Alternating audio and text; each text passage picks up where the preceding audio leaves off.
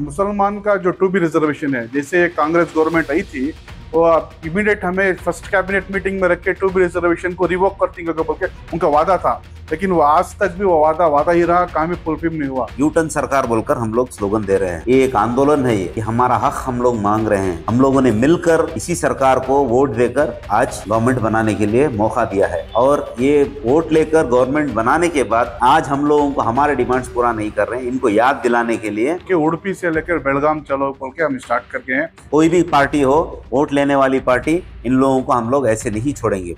Social Democratic Party of India जहाँ भी anti people policies बनती है, या अवाम के खिलाफ पॉलिसीज़ बनती है तो उसके खिलाफ फ़र्स्ट फ़ेज़ में फ़र्स्ट लाइन में आके जो बात उठाती है वो Social Democratic Party of India. ये जो अंबेडकर जाता टू बोल के है, ये अंबेडकर जाता वन का सेकेंड वर्जन है। अंबेडकर जाता वन तकरीबन एक साल पहले हम लोगों ने बेंगलुरु से स्टार्ट किया था। बेलगावी में जो विंटर सेशन लास्ट ईयर चला था, उधर तक गए थे हमें। और हमारे डिमांड्स रखे थे कि टू बी रिजर्वेशन कांतराज आयोग रिपोर्ट और शेड्यूल कास्ट के वास्ते रिजर्वेशन के वास्ते मुद्दा रखे गए थे। लेकिन कहाँ भी हमें जो जाता के बाद में वहाँ से एक मिनिस्टर आके हमारा मेमोरेंडम लेके गए, लेकिन अभी तक वो इम्प्लीमेंटेशन नहीं हुआ। इसका सेकेंड पार्ट हमें जाता टू बोल के उड़पी से लेकर बेलगाम चलो बोल के हम स्टार्ट करके हैं। ये ये दिसंबर टेंथ से दिसंबर सोलह तक ये जाता चलता है वहाँ बेलगावी सेशन में जाके हमें अपना बेलगावी सेशन के अपना बात रखेंगे हम। इसमें हमारे एक छह मुद्दे हैं।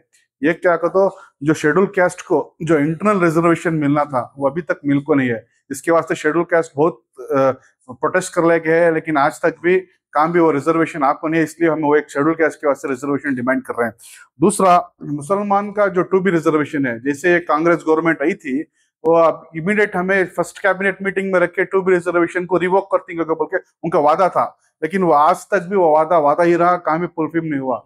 ये मुसलमान अपनी कम्युनिटी का 90 परसेंट वोट कांग्रेस सरकार को देख रहा है, लेकिन अब तक ट्रूथ रिजर्वेशन रिवोक होकर नहीं है। हमारा डिमांड है, जो 17 परसेंट मुस्लिम कम्युनिटी है, जो आपको 90 परसेंट वोट दे के है, उसको टू रिजर्वेशन में 8 परसेंट रिजर्वेशन देना बोल के हमें, हमारा डिमांड है। तीसरा जो है, कांतराज आयोग का कमीशन का रिपोर्ट इसको इम्प्लीमेंटेशन करना और पब्लिश करना बोल के।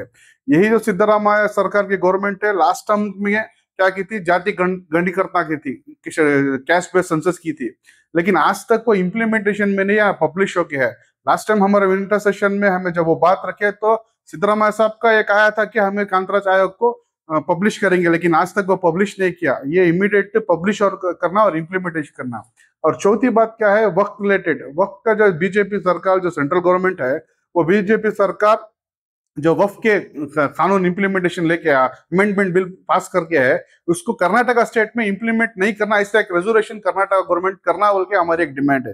पांचवी क्या है, ये शेड्यूल कास्ट और शेड्यूल ट्राइब्स को जो टीएसपी जो फंड आता है, ये उनके वास्ते रखना, ये गवर्नमेंट वो फंड दूसरी जगह, किसी और जगह नहीं यूज़ करना बोल के हमारा डिमांड है। और लास्ट और नॉट लिस्ट ये जो आने वाला बजट है 25 और 26 का बजट है, जो मुसलमान, जो third largest community in Karnataka है, उसके वास्ते हम माइनॉरिटीज के वास्ते एक दस हज़ार करोड़ रुपए का डिमांड कर रहे हैं कि वो बजट में लेके आए।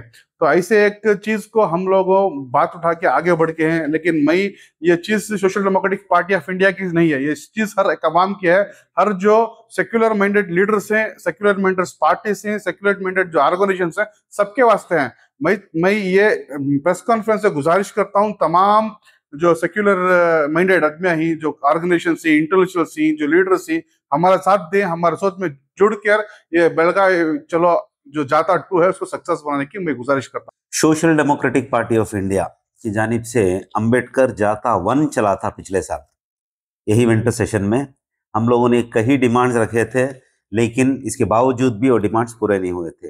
पिछली बार बैंगलोर से हम लोग बेलगाम गए थे। इस बार अंबेडकर जाता टू ऐलान कर कर हम लोग उड़पी से हम लोग बेलगावी जा रहे हैं। तो देखिए, ये डिमांड जितने भी है एस की तरफ़ से, आवाम के लिए जो कांग्रेस गवर्नमेंट जो इलेक्शन से पहले और इलेक्शन के बाद जो कमिटमेंट्स किए थे, वादा किया था, ये इन लोगों ने नहीं पूरा किया है। और इसको यू टर्न लिए हैं ये हमारा स्लोगन ही वही है यू टर्न सरकार बोलकर हम लोग स्लोगन दे रहे हैं। इस मुद्दे पर हम लोग दोबारा इस बार विंटर सेशन में हम लोग पहुँच रहे हैं।